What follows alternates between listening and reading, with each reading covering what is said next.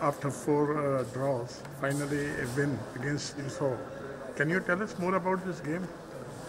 Well, he's obviously a man in form. I mean, he's been three and a half out of four.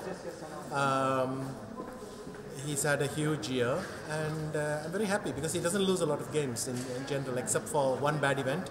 He's hardly lost a, a game uh, for many months, I think. And um, but it was a very, very complicated, intense game.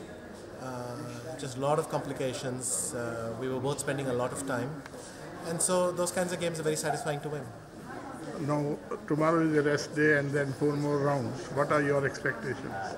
Well, I'll just keep taking it round by round, but uh, I'm hoping to get a good rest uh, today. Uh, I mean, knowing tomorrow's rest day, today evening we can all unwind a bit.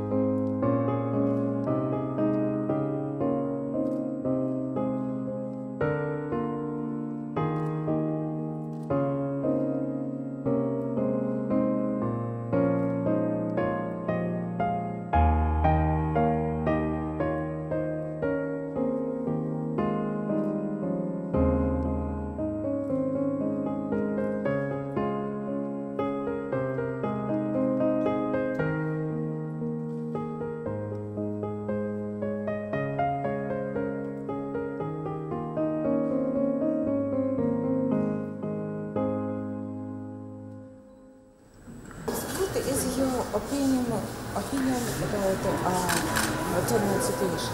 I think it's very good. Uh, even after yesterday, when I was uh, half a point behind, I was optimistic uh, about the tournament situation, and now leading the tournament, it's looking very promising. And uh, what do you think? Uh, why your opponent uh, take uh, d5? Yeah, I think uh, he was uh, afraid of coming under an attack after f4, knight to e3, and he decided to to um, to change the character, the position. But I think perhaps he underestimated the difficulties he had in the game.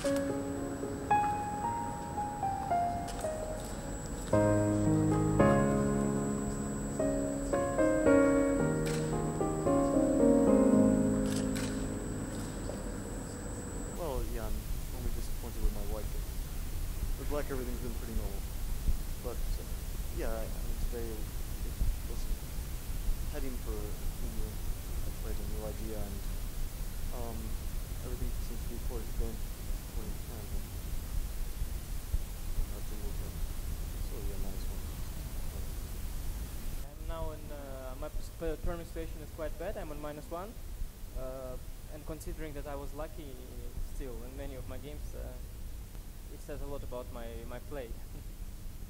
but uh, fortunately, there is a rest day, and uh, there are five more games, and I have some uh, some nice opponents, points will be coming, so I'm feeling optimistic.